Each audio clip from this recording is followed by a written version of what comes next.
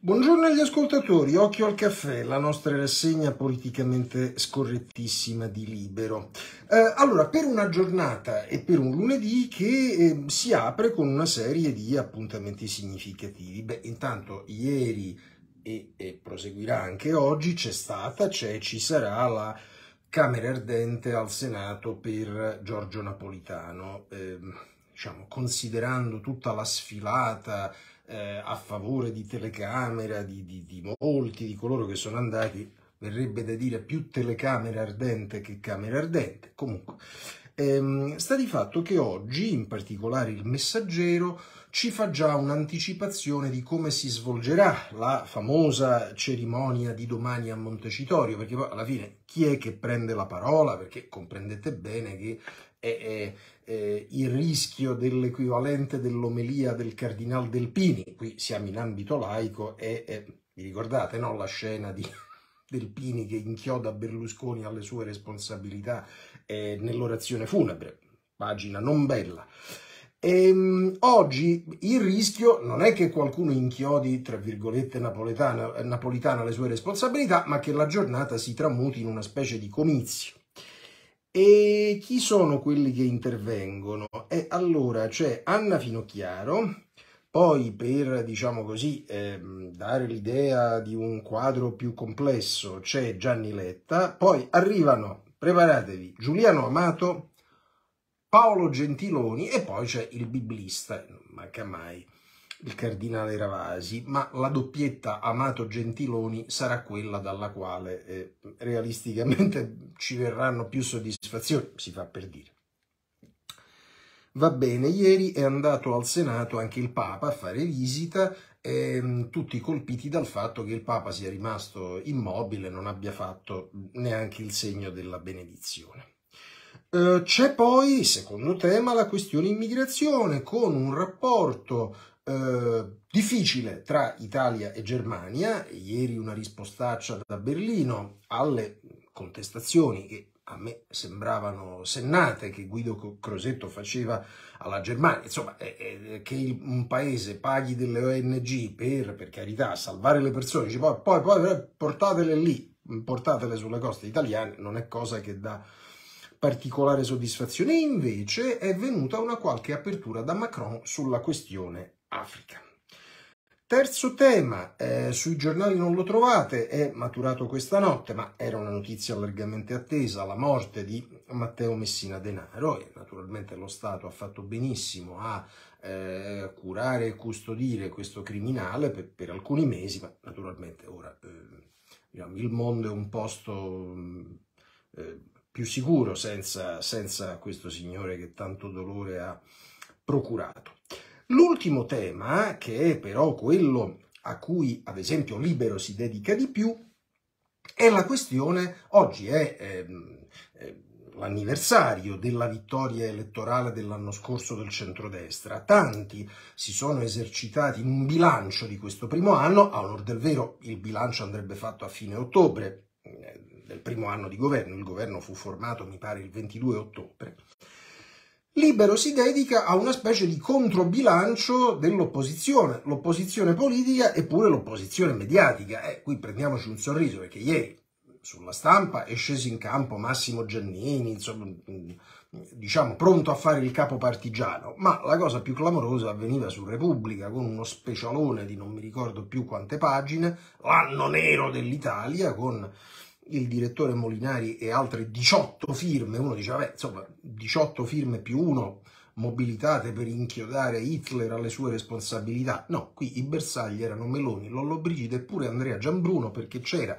un pezzo di Natalia Aspesi che si chiedeva ma come mai la Meloni non ha sposato questo bel ragazzo? Eh, che cosa c'è dietro? Quindi siamo arrivati all'irruzione della Aspesi nella camera da letto di casa Meloni Giambruno, ma poi c'era di tutto, c'era Michele Serra che dice non chiamiamola destra perché è molto di peggio, eh, Belpoliti, Lombrosiano su, su, sul corpo della Meloni, eh, Bonini che ha fatto la majorette per vent'anni del circo giustizialista e che dice no ma qui c'è il panpenalismo, insomma non mancava, non mancava proprio, ah Cappellini naturalmente già eh, già sulle montagne a combattere, diciamo, ecco.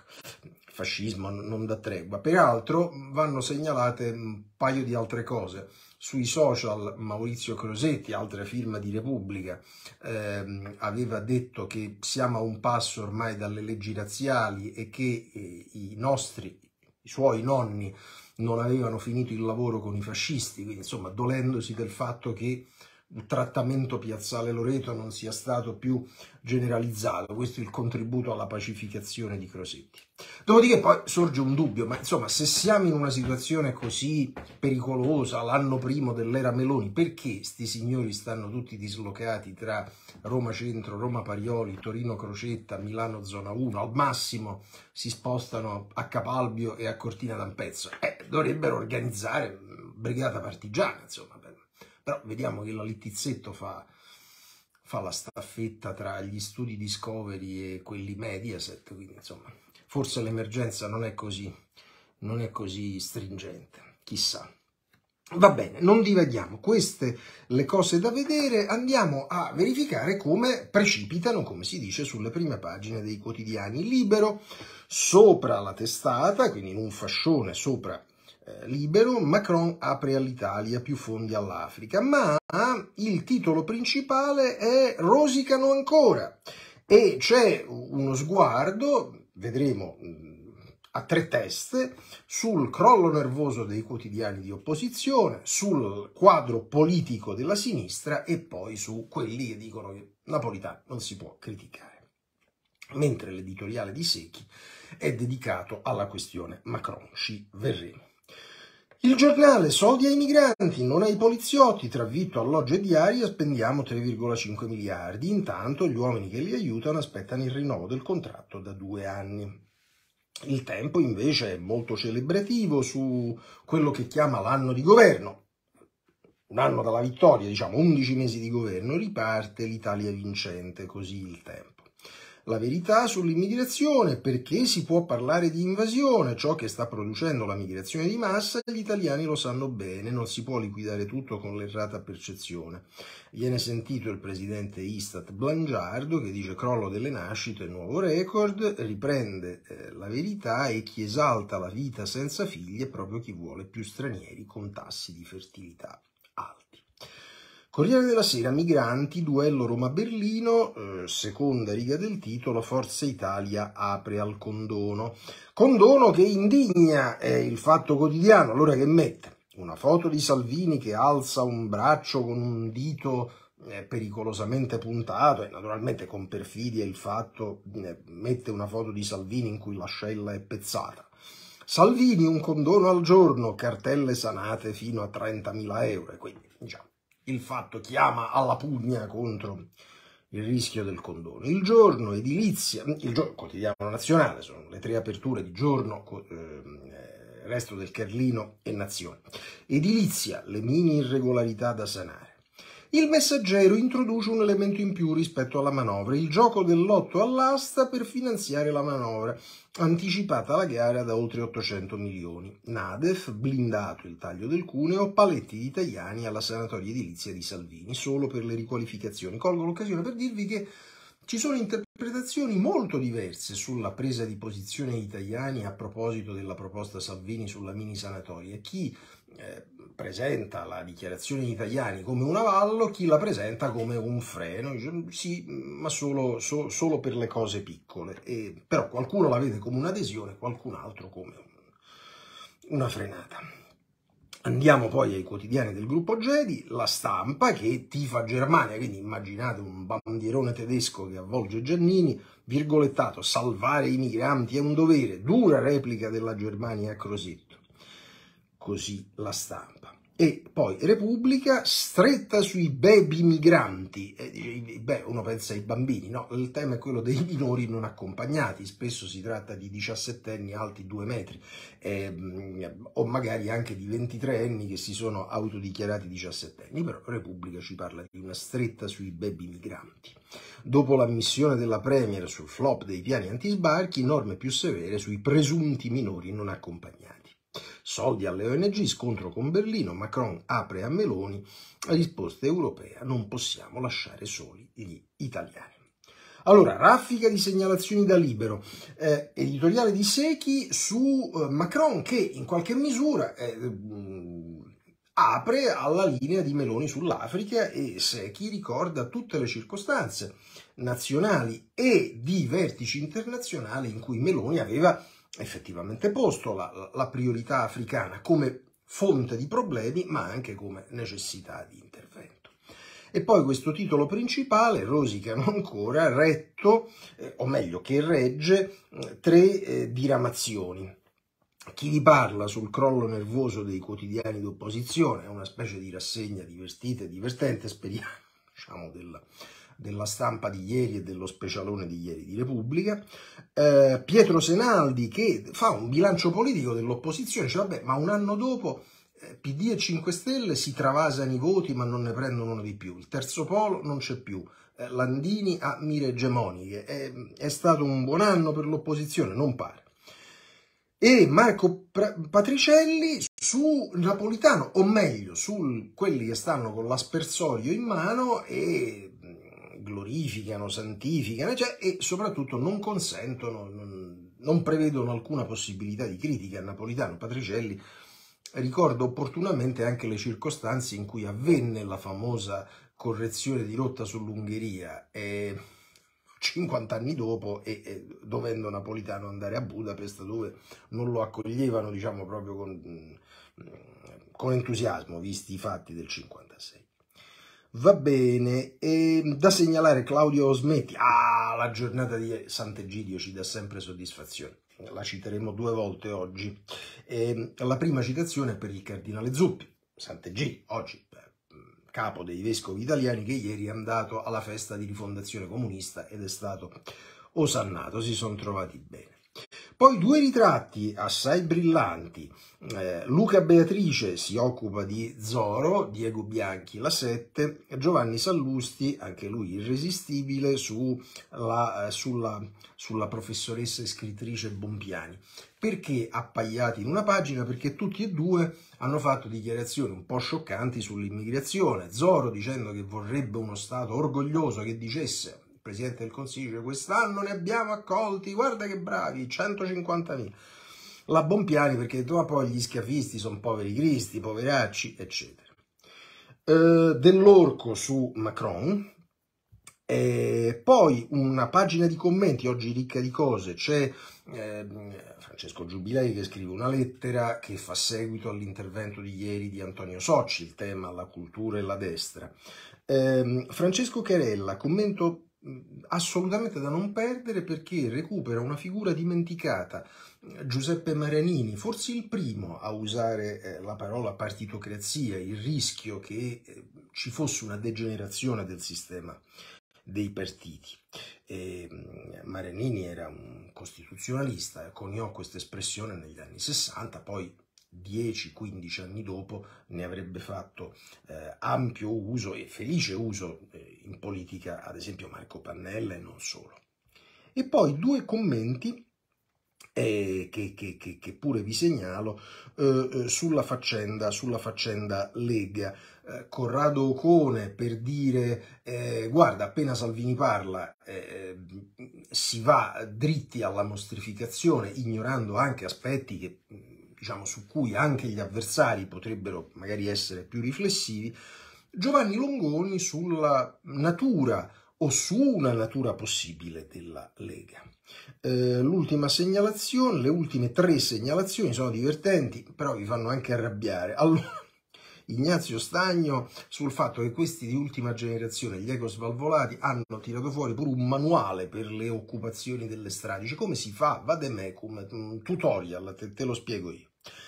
Poi eh, una storia incredibile da Piacenza, l'ha raccontata eh, l'ex assessore eh, di centrodestra, Papa Varenghi, che racconta le imprese, in questo caso di una giunta di sinistra. Che succede? Doveva esserci una manifestazione per ciclisti disabili e atleti disabili erano arrivati da tante parti, poi però invece blocco della viabilità, casino, tutto annullato e la giunta che faceva stava a un festival culturale a cui partecipavano, credo, Saviano, la Guzzanti, tutta una serie di altre.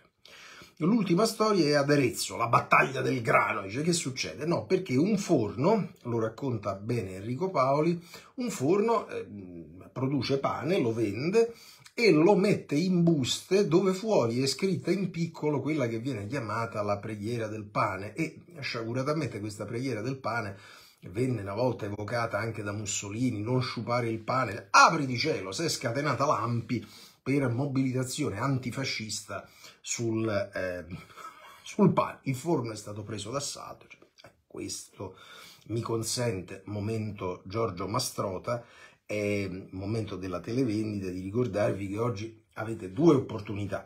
La prima è naturalmente quella di andare in edicola e prendere libero, o meglio ancora di abbonarvi. La seconda è quella non ancora di andare in libreria, quello potete farlo dal 3 ottobre, ma di cliccare su Amazon e di eh, prenotare questo libro. Dove sta? Si nasconde abilmente. E basta con sto fascismo. Eh, vedi che la cronaca anche da Arezzo anche da Arezzo ci aiuta. Allora, queste le segnalazioni di oggi su Libero.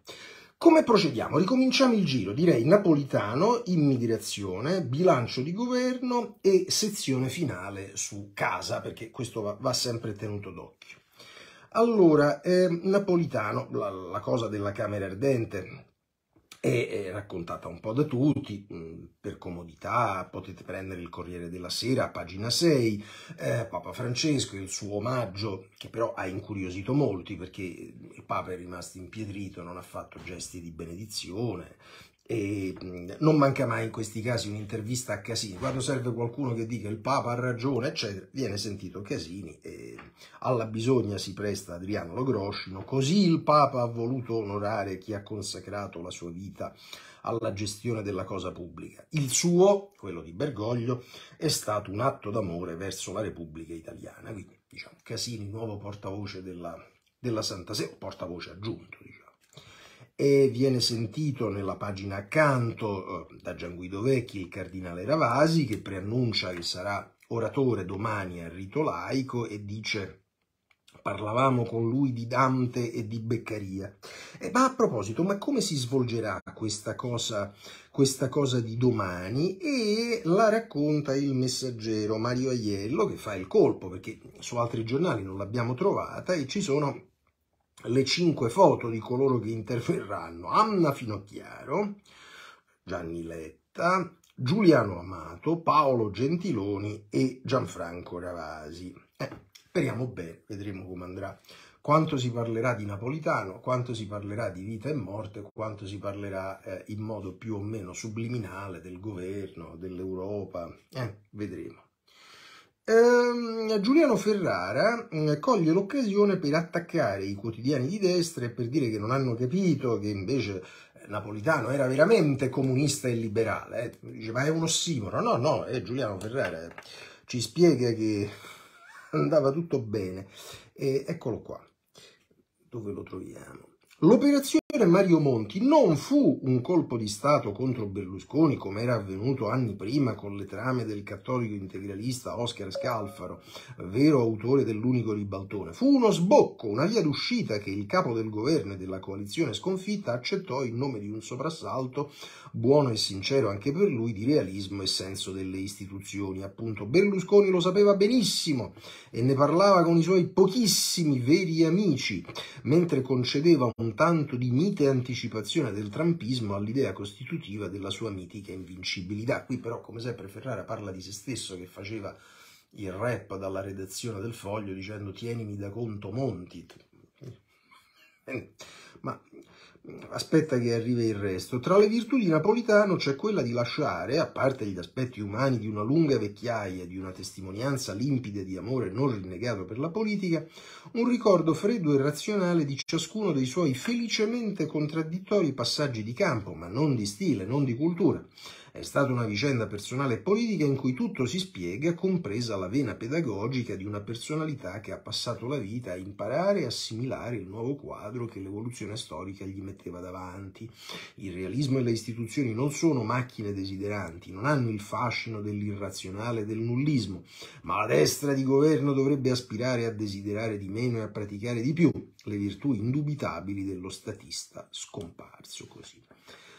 Ferrara che sembra però, no, vogliamo psicanalizzare nessuno, sembra però giustificare non tanto Napolitano, la cui traiettoria è complessa, interessante, ricca, mm, chi siamo noi per, ma sembra Ferrara giustificare una specie di, eh, a essere buoni, realismo, pragmatismo, a, a essere meno buoni, eh, furbizia e, camaleontismo comunista, per cui un giorno si è rivoluzionari, un altro giorno si è realisti, e, e come dire, in nome di un risultato che, che è sempre quello dell'egemonia. Ferrara. Eh, dalla trincea di Monte Carlo arriva anche Flavia Perina a dire che pure lei, diciamo, Brigata Ferrara, a dire che non ci fu golpe nel 2011 e la destra lo sa, è tempo di rileggere la storia. Ora però che lo dica una che è stata parte in causa, era al fianco di Gianfranco Fini, Ero una deputata di Alleanza Nazionale quando nel 10 Fini tentò lo strappo. All'epoca eravamo noi e la sinistra a lamentarci della tempistica scelta dal Presidente. E qui siamo veramente... Cioè adesso la Perina ci vuole raccontare che il timing e le scelte di Napolitano erano ostili a, Fini. E dai, quando chiunque ha capito che Fini veniva spinto da Presidente della Camera, da Napolitano, a... a rompi e quello finirà nel burrone giudiziario. Te la ricordi il fuori onda di Fini col procuratore di Pescara, mi pare si chiamasse Trifu oggi, in cui ridacchiavano sulle dichiarazioni di Spatuzza, su Berlusconi che si credeva immortale, eccetera. Però questo Flavia Perina non ve lo ricordo, ve lo ricorderà forse un'altra volta, diciamo non oggi. E Sant'Egidio, sì, c'è anche Sant'Egidio, in questo caso attraverso Andrea Riccardi, che non manca mai, che viene sentito da Repubblica sul Napolitano. Era un laico che rispettava la Chiesa, Ratzinger lo stimava e si confidò con lui, quindi qui abbiamo, eh, abbiamo visto eh, chi era eh, ehm, quell'altro Casini, portavoce di Bergoglio, e invece ehm, eh, Riccardi, autoproclamato portavoce di due defunti, cioè di Ratzinger e di Napolitano stesso. Va bene. Immigrazione. Allora, abbiamo visto tutto eh, il lavoro che fa ehm, Libero. Eh, il giornale insiste invece sulla discrasia tra eh, fondi spesi per l'accoglienza e invece contratto eh, non rinnovato dei poliziotti, ampia sezione anche sulla verità, eh, anche qui vi segnalo un po' di cose, c'è Maurizio Belpietro, che diciamo eh, rimprovera a Andrea Orlando e anche a una serie di altri supporter mediatici della sinistra un'amnesia, dice ma guarda ricordati quello che hai fatto tu sui CPR, Francesco Borgonovo che rovescia diciamo sugli altri l'accusa di negazionismo, dice guarda siete voi che state negando in questo caso un'emergenza, noi suggeriremmo una moratoria della parola negazionismo, però insomma eh, da questo punto di vista non ha torto Borgonova, dice guarda, eh, me lo dici tu sul clima e sui vaccini, te lo dico io su quest'altro tema. E poi due interviste interessanti, perché c'è Fabio Dragoni che sente Anna Bono, che racconta come spesso gli stati africani da cui avviene la più parte dei processi migratori non sono necessariamente i più poveri. La Bono insiste sul tasso di corruzione delle elite africane mentre Federico Novella sente Marco Minniti che mh, insiste su un punto a, a, mio avviso condivisibile, l'importante è che non diventi, diciamo così, eh, il meglio in attesa del quale non si può fare un po' di bene, e dice Minniti al prossimo Consiglio europeo bisognerebbe portare un'intesa complessiva Europa-Unione Africana come cornice entro la quale collocare i singoli accordi bilaterali.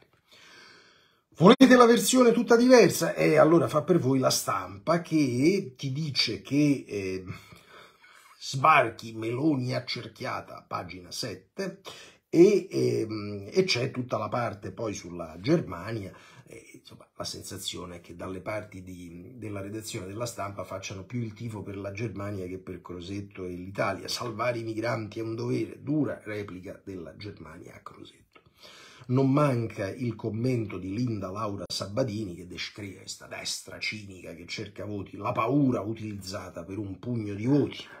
Ah, noi credevamo che la paura fosse stata utilizzata ai tempi del Covid, da Conte, Speranza, però no, la Sabatini ci dice che è solo Meloni. Va bene, a proposito del bilancio Meloni, delle considerazioni su cui riflettere sono quelle del professor Campi sul Messaggero, che ehm, il cui editoriale è titolato così Gli imprevisti della politica che richiedono cambi di rotta e Cambi evoca il fatto che andando al governo il registro del realismo eh, si imponga. La via imboccata dal governo, quella del pragmatismo, il realismo economico, è stata secondo molti un cammino obbligato più che una scelta volontaria, ma non cambia la sostanza. Chi si aspettava un esecutivo avventurista, attento al consenso immediato più che all'equilibrio dei conti pubblici, si è dovuto ricredere. All'inizio si ironizzava sul draghismo di facciata della Meloni, adottato solo per darsi all'estero una pervenza di affidabilità. In realtà su questo versante sembra intervenuto un cambiamento di mentalità profondo e convinto.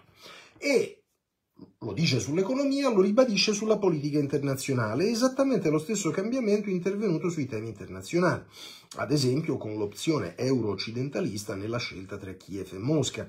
Non era scontata, sembrava anch'essa una decisione opportunistica adottata contro voglia, viste le pregresse simpatie putiniste circolanti nel centrodestra italiano. È invece diventata un'opzione strategica e non negoziabile intorno alla quale Giorgia Meloni ha operato una fitta e proficua tessitura diplomatica che l'ha molto rafforzata. Detto questo, quindi dopo una doppia difesa, Campi però fa anche una messa in guardia al governo. Detto questo, non facciamola facile. Le contingenze avverse di questo primo anno, che hanno certamente frenato i piani riformistici del governo in materia quali fisco, giustizia e riforme istituzionali, si sono sommate anche con difficoltà tutte interne all'esecutivo, ad esempio la rincorsa a destra della Lega alla Meloni. Sinora si è mantenuta entro limiti accettabili, ma ci vuole poco a superarli, trasformando così una competizione fisiologica in uno scontro politico e personale dagli esiti potenzialmente pericolosi. Così come la questione molto discussa di una Meloni accusata di fidarsi solo di familiari e amici di antica data, dando così la stura in tempi di antipolitica galoppante ai peggiori retropensieri. In sé la questione si spiega facilmente, è una tendenza tipica di tutte le comunità militanti, fondate su una base ideologica forte e condivisa, quella a sovrapporre le relazioni personali e affettive con quelle politiche.